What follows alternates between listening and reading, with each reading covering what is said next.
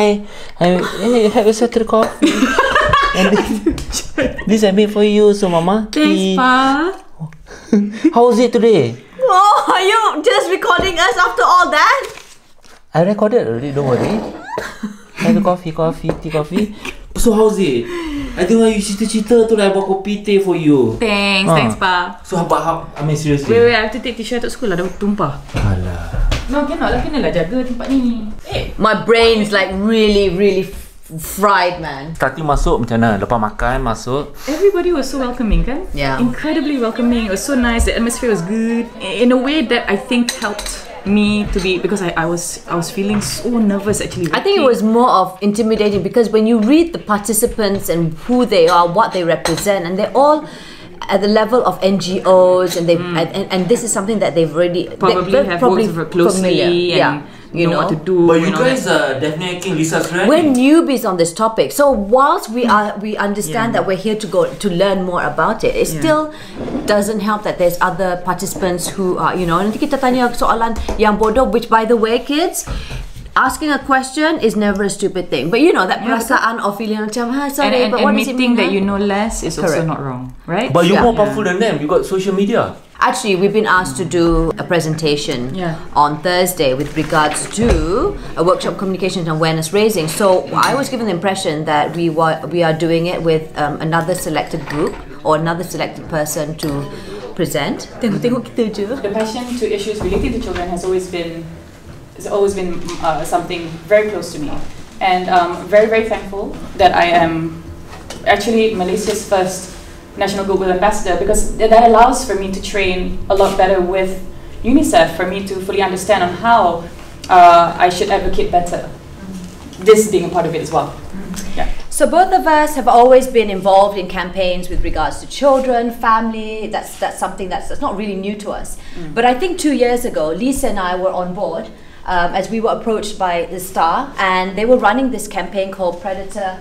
Um, in my phone, and we we were basically trying to get MPs on board to renew our Child Act Law 2001 Yeah, to to include anti-grooming laws inside. So one of the directions that we were on board with was to create the awareness of predators on our phones of our kids and us being mothers and all that, having daughters. We thought this is really, really important to get the messaging out. Yeah. So this was something that we were lobbying for MPs, uh, members of parliament. This is me um, 78 kgs ago. she was pregnant there with uh, Leo, right? Number two, yeah. This is actually the then uh, Minister of Communications, uh, Datuk Salleh.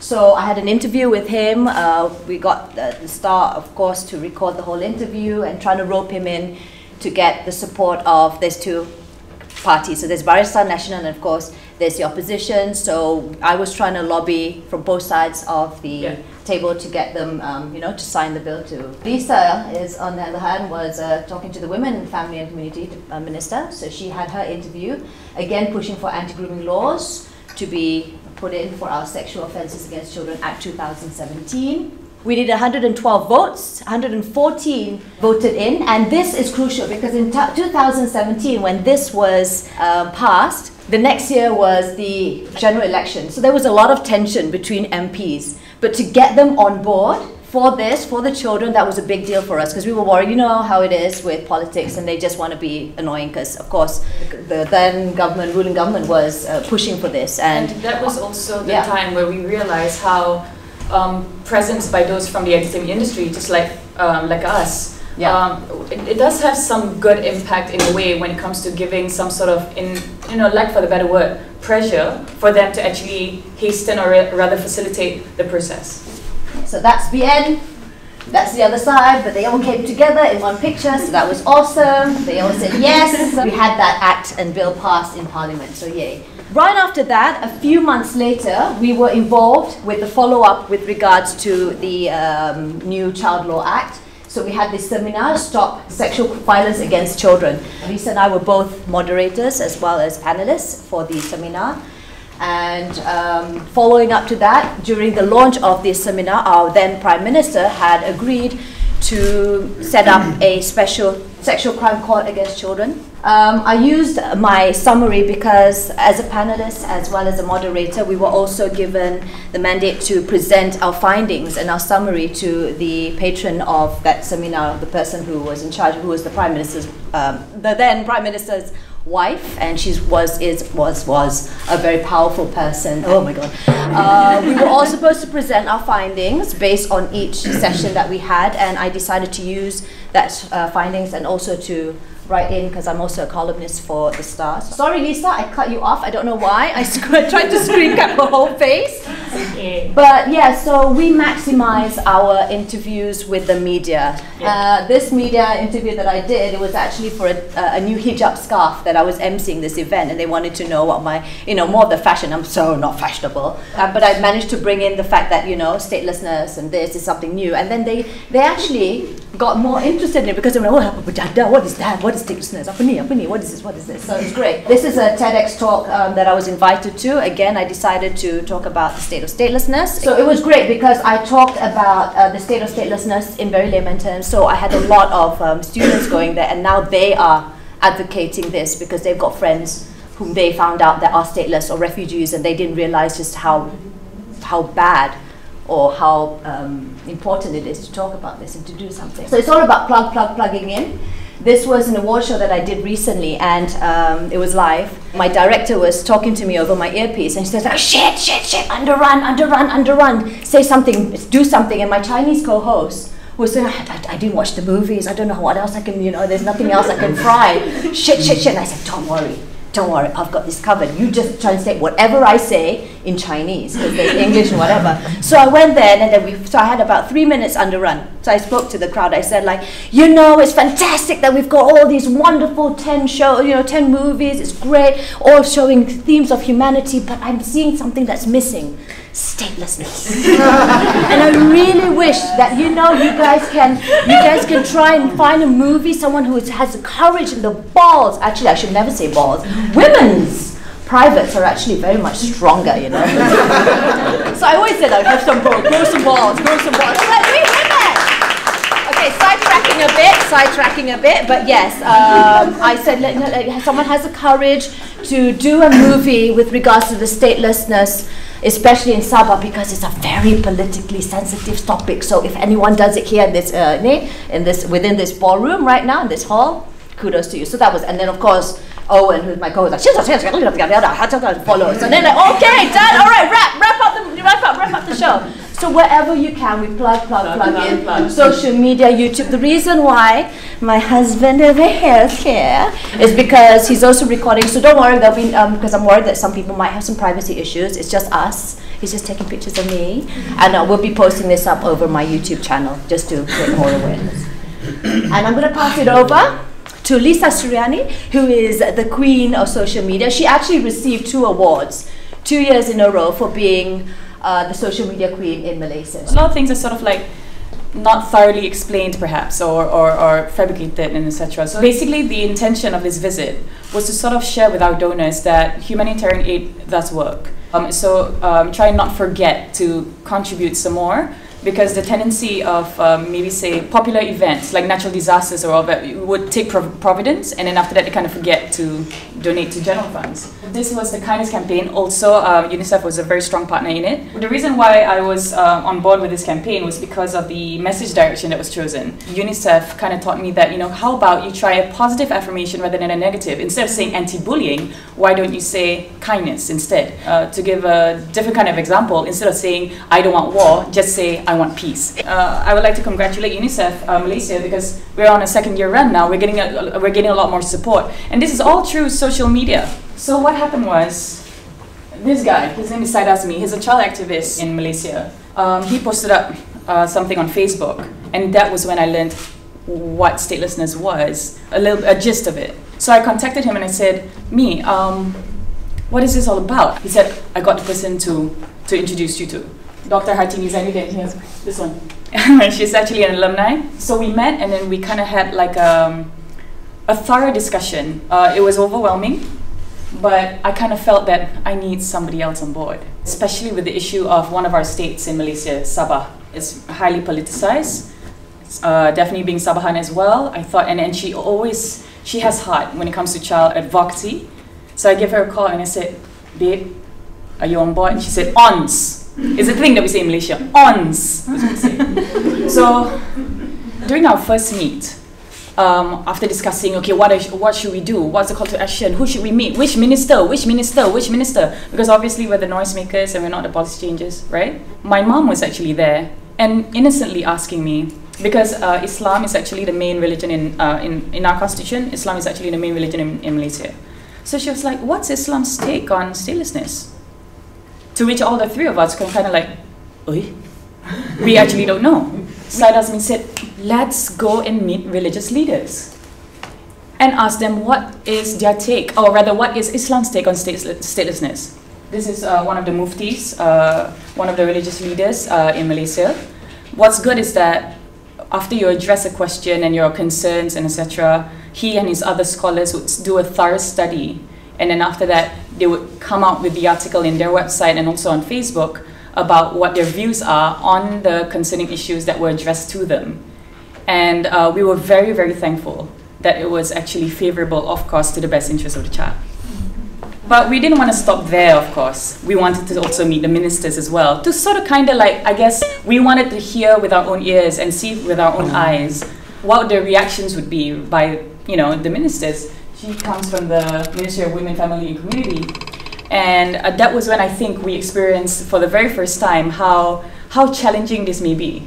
Ultimately, what we would want is a right to a nationality, right?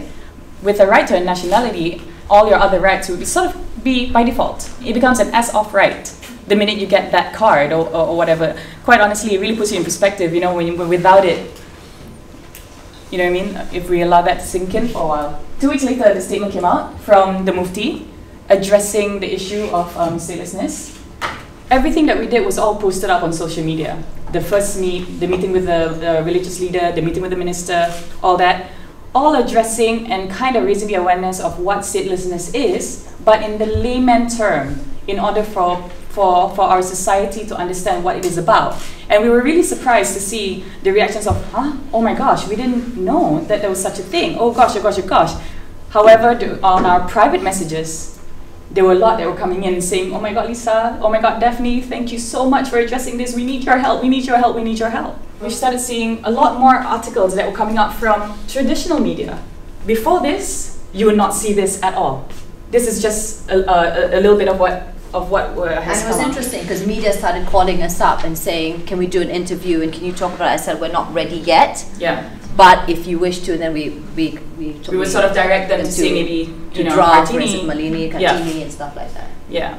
Laura says yes. this was yesterday. Wait, which Laura? You. How entirely paramount it is to uh, translate the knowledge to them. So humbly, we admit we are newbies at advocating something as as complex as this, which is statelessness. But I guess that's the good thing, you know. Uh, we're really thankful to be here. Thankful to have met all of you. All the facilitators are ons. You know what I mean? Can you do a close? Okay. so I think I wanted to add in Laura's thing because it really hits home when you mentioned it yesterday. At yeah. the end of the day, a lot of people don't know. Yeah. And when we started talking about this and yeah. us getting to know more and more, and that's where people started getting interested in the mm. plight of statelessness. So it's really important to translate that knowledge to them, and that's why we're trying to get more advocates on board. Unfortunately, not all uh, personalities in the entertainment industry share the same sentiment or passion as Lisa and I. Some have asked they, for money. Ah, uh, yeah, they may, but then like, how much is the payment for? And we're like, no, no, no, that's not how it works. Because it has to come from the heart. Yeah. Since social media is really one of our important tools to use as a medium, mm -hmm. leverage on it. We need people to know there is this issue I can't believe that this is the final day of our course. It has been incredibly mind-blowing. The fact that so much data is right here in my brains right now, but at the same time, it, I'm exploding with ideas and um, I'm really, really empowered and I want to make sure that other people feel the same way, not just in terms of knowledge, but also in passion and really realizing this dream because at the end of the day, it takes political will to make the change. And if I can create this awareness of this movement, um, especially among my that will be really, really excellent for us to get things going. And today, I got my Okay, Tonight, I'm gonna blow your mind. These are the co-directors of ISI. Uh, this is Laura and Dr. Laura, sorry, Dr. Laura, and this is Amal. So we work on the right to nationality and statelessness around the world, and we are an organization uh, that was set up five years ago, and we feel that everyone has a right to a nationality, but still there are at least 50 million people who are stateless, and so we feel it's our obligation to work to ensure that everyone's right to a nationality is protected and is respected, and that stateless people are able to enjoy their other rights. There are lots of people who I think would enjoy the course and learn things that are useful for their work because statelessness is something that interacts with situations where people are refugees, it has an impact on child rights, it has an impact on women's rights, and so people working across any of these issues would benefit from learning about how statelessness affects their work and their ability to do what they want to do with that work. Congratulations. Thank you for being uh, probably our most jumping around course participant. It's been a delight. Thank you so much. And uh, congratulations. Thank you guys. Ta-da. The tied winner, the three-way tie for best Malaysian participant, goes to Lisa. Thank you so much. This means so much. Thank you so much. Thank you, thank you, thank you so much. How do you feel, Lisa? How do you feel? I can't. I can't wait to share this with um, with UNICEF Malaysia. Um, I'm really, really thankful. Quite honestly, like um, it's a course that I think that I wouldn't mind taking again. Please come to Malaysia, please. Yes. I don't know, like really. Just buy their tickets. And it's important to say it may look as though they're just smiling and giggling and having a lot of fun this week, but these ladies have worked so Yeah. hard And sleeping as well. concentrated so much to try to understand and follow things. It's Yeah. very admirable. You know, you've shared so much with us, but have we at least contributed like a tiny bit in, um, you know, because it was all about learning and sharing. So what we shared, was there anything that you learned from us? definitely. They got your money. Nothing. Amal doesn't need to learn anything anymore. His learning is, his Yeah. learning days are over. His brain is full. No, every time someone asks a question, we discover more about what interests people, what Right. motivates people. Right. We're forced to try to find new ways to answer questions, so we get better yes. at our work. Right, And you guys have definitely brought new knowledge to us. I mean, I have no idea how Twitter is actually used for the power of good. We tweet, but you know, we need to do better.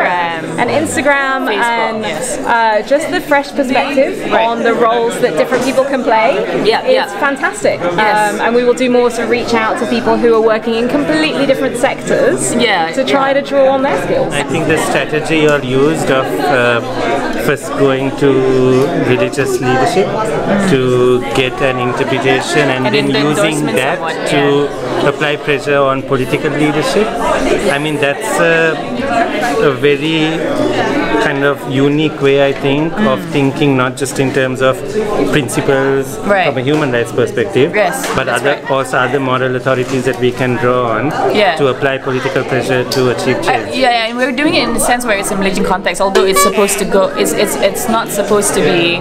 Um, how do I say? It's supposed to be beyond religion and then beyond your beliefs. And you know, it's supposed to be despite.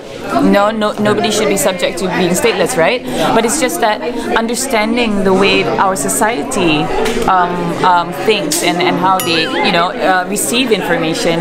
Um, it always has that, you know, a little bit more strong hold when we get an endorsement by somebody who is of a religious leader. So, yeah.